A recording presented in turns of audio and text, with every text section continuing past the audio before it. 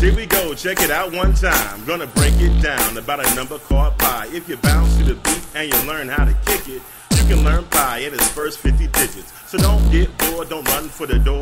Just start at the top, 3.14. My teacher taught me I had to open my eyes and memorize 159265. Going line to line, going rhyme to rhyme. And it's 358979. They say math is tough, that is hard like bricks. Well, 323 846. So easy to remember, there's no debate about 264 338. See, I'm learning pi, but I'm no weirdo. 327-950. Getting hot like the sun as I start to shine. Say 288 to the 419 as I go for mine, as I fill my mind. 716-939. Now I'm looking good and flying like a hero.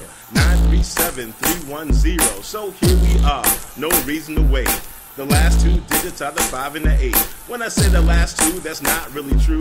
Cause pi doesn't stop, it just continues on and on, longer than the song. But the first 50 digits should help you along. See, I never thought I would get this far. Now math teachers call me a pi star. And haters try to say my pi rap is weak. But they're just mad, cause I'm 50 digits deep. I'm 50 digits deep. I'm 50 digits deep. I'm 50 digits deep. Now watch you get it and repeat. 159, 265, 358, 979, 323, 846, 264, 338. 327-950-288 to the 419 716-939 937-31058 50 digits deep. There it is.